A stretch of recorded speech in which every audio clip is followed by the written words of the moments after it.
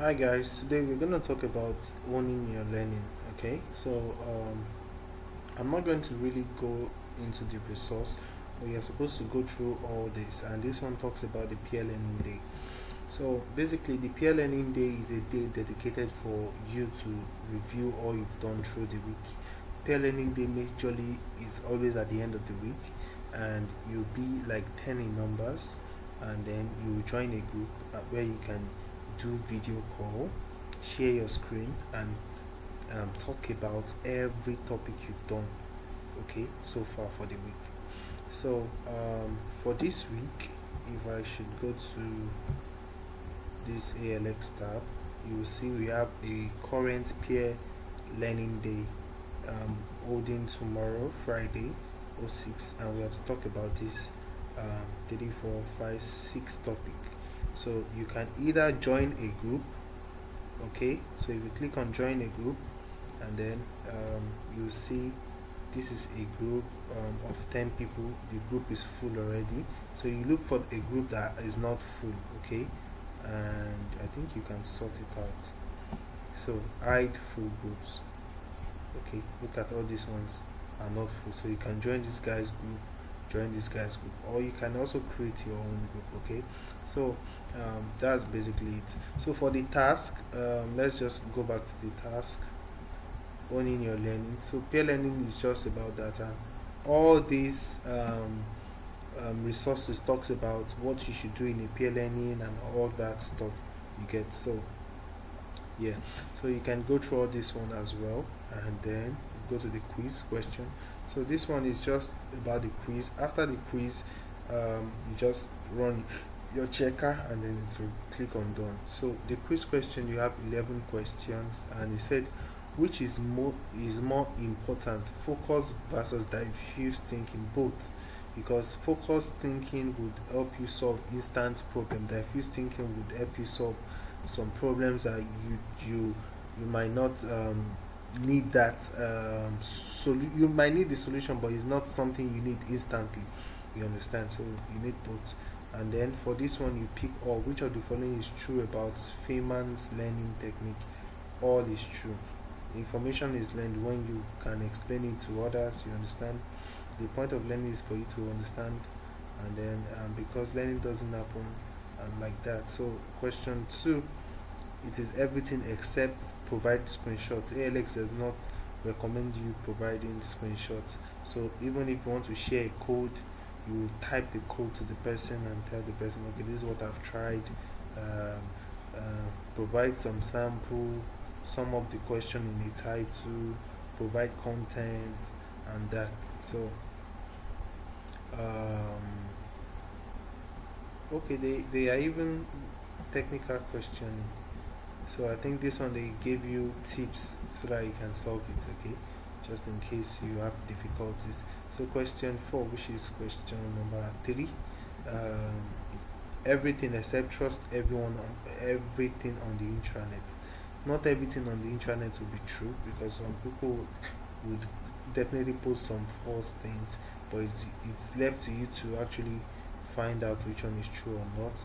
So you should google google some if you have to google anytime you have to google specifics um, something specific. Don't tell google to give you the answer. Just say okay i'm having issue with this thing and help me with this thing. You understand? So all these are already in the resources okay? I don't want to waste time. That's why i'm not going through the resource. Um, question four um, when giving help to a peer it is important to what mark everything. Do not give the final answer. Try and there are no stupid questions and respect all their questions. And then question six which is question hashtag five. He says when asking a peer for help it is important to remember you still mark everything. It's your job to ask and it's your job to help like that and explain what the problem is blah blah blah. According to richard feynman what does it mean what does it mean to know? It is still everything.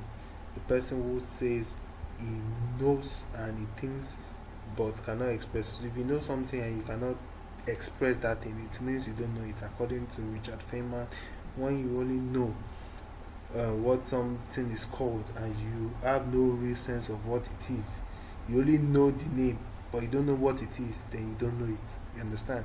You only know um, the, let's say there's a word um, polio tolon andrographis paniculata you, you only know that word and you don't know what it is. Then you don't even know what that thing is okay? When you know something the label are unimportant because it's necessary to keep it in the box. It came in. Why? Because you have to know the content you get. So which of the following is part of the recommendation learning framework with ALX program everything. Read the project write or draw out your problem uh, whether or not the code runs you need to know what you've done all those things. Pause take a break uh, a breath and think of solution. So number eight they give you where you can read as well.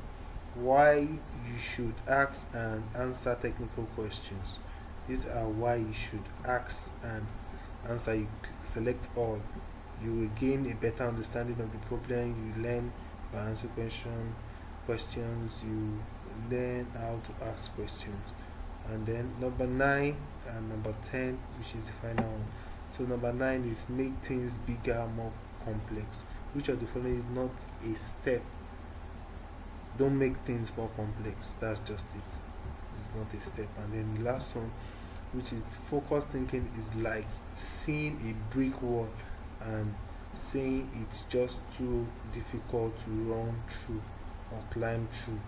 While diffuse thinking is like is like your mind saying hey why don't we tie balloons and just float over it?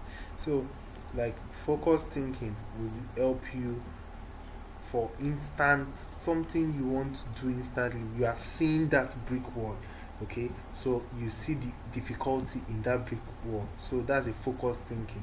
But for this one which is diffused you are not you are, it's not like you want to fly at the moment but you are just thinking just came to your mind that uh, why don't we even tie balloons and float over it? Like why don't we use balloon and fly to different countries you understand those kind of thoughts. It's not like you want to fly instantly. So those are diffuse thinking. They are necessary in order to bring um, innovations but um, um, for creations rather. While focused would bring about solutions to different things instantly instantaneous solution to stuff and then you run your checker and that will be done. So um, if you have any questions let me know in the comment section and don't forget to subscribe like this video in order to support us and we'll see you in the next video. If you have any question drop it on the comment section and don't forget to join our whatsapp group on the description. The link is there. See you and let me know if you have any issue. Bye